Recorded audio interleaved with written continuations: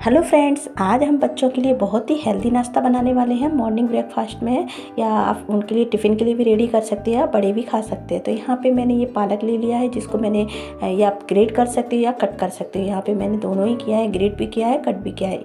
आप हरी मिर्ची अगर आपके बच्चे पसंद करते हैं तो डालिएगा, नहीं तो नहीं डालिएगा। इसमें एक प्याज ले लेंगे और थोड़ा सा धनिया डालेंगे। धनिया पत्ती आप ज़रूर डालिएगा। आज हम पालक पोला बनाएँगे। बहुत ही हेल्दी नाश्ता रहता है गाइस बहुत ही टेस्टी बच्चों को भी बहुत फटाफट से चट कर देते हैं। यहाँ पे हम बेसिक चीज़ें डालेंगे, नमक डालेंगे फ़िलहाल तो और इसको कुछ मिनट, पाँच मिनट के लिए छोड़ेंगे, क्योंकि पालक पानी छोड़ेगा। तो यहाँ पे पालक ने बिल्कुल पानी छोड़ दिया रेस्ट कर लिया है पाँच मिनट के लिए। तो अभी हम इसमें बेसन ऐड करेंगे। तो आप थोड़ा थोड़ा करके ही डालिएगा, एक साथ मत डालिएगा। तो आज हम पालक पुले की रेसिपी बढ़िया बनाएँगे क्योंकि हम इन बच्चों को, बड़ों को कोई भी खा सकता है फटाफट से और बच्चे इसको आप लंच बैग में रख के बच्चे का हेल्दी रहता है, बच्चे फिनिश भी कर देते हैं और बहुत मज़ा भी आता है खाने में। तो यहाँ पर मैंने थोड़ा सा मुझे लगा कि मैं और बेसन डालूँ तो थोड़ा सा मैंने और डाल दिया।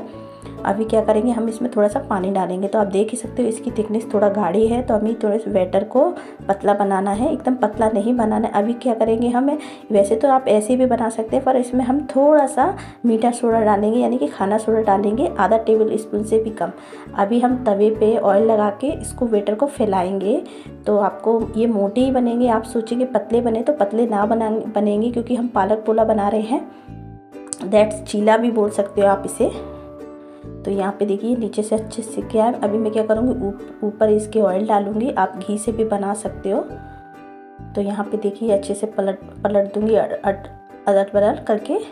यहाँ पे ऑयल अच्छे से ये सीख गया है क्रिस्पी हो चुका है। तो अभी हम ये इसे प्लेट में निकालेंगे। और इसे मैं ग्रेट करूँगी। तो इसको मैं ट्रायंगल शेप में फोर पार्ट में डिवाइड कर दूँगी। तो बस इसको अच्छे से कट करने के बाद में फ़ोन, आज मैं टिफ़िन बॉक्स, मैं आपको पूरा लंच, टिफ़िन बैग बताऊँगी बच्चे को जो मैं रखती हूँ बच्चों के लिए।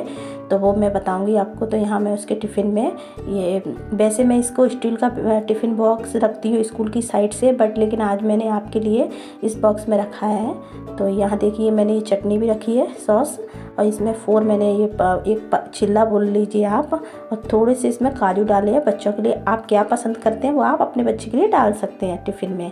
तो यहाँ मैं इसका टिफ़िन रेडी कर दूँगी। तो ये देखिए, ये ये बिल्कुल परफेक्ट रेडी है। अभी हम क्या करेंगे? यहाँ पे मैं उसके लिए जूस बनाया था। आ, सेक मान लीजिए आप तो यहाँ पे मैंने बनाना सेक बना के इसके लिए रेडी करके रखा था बैग में क्योंकि उसको पसंद है तो मैं उसके लिए अलग से रख देती हूँ कभी कभार तो यहाँ पे ये इसकी बॉटल भी रेडी है इसका बनाना सेक भी रेडी है इसका टिफ़िन भी डालेंगे हम इसी में। तो इसका टिफ़िन भी बिल्कुल रेडी था। तो इसका बैग तो एकदम रेडी हो गया। हमें इतने इजीली बन जाता है गाइस आप बिल्कुल पहचान भी नहीं पाओगे, फटाफट से इसका नाश्ता रेडी हो जाता तो यहाँ पे बेटू का हो गया बैग रेडी अभी मैंने यहाँ पे थोड़ा सा टेस्ट किया था तो यहाँ पे मैं ब्रेकफास्ट कर रही थी तो मैंने सोचा आप लोगों के साथ थोड़ा शेयर करूँगी, ये बने कैसे थे? तो एटलीस्ट आप देख ही सकती है पालक पुलक कैसे बने हैं। तो अगर वीडियो पसंद आए तो वीडियो को लाइक शेयर चैनल को सब्सक्राइब कीजिएगा। ऐसी लेटेस्ट वीडियो मैं आपके लेके आती रहूँगी। चलिए मिलते हैं नेक्स्ट वीडियो में, जब तक के लिए बाय टेक केयर